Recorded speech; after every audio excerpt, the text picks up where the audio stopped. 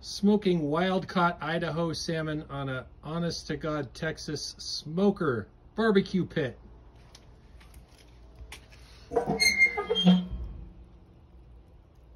Oak and hickory fire. And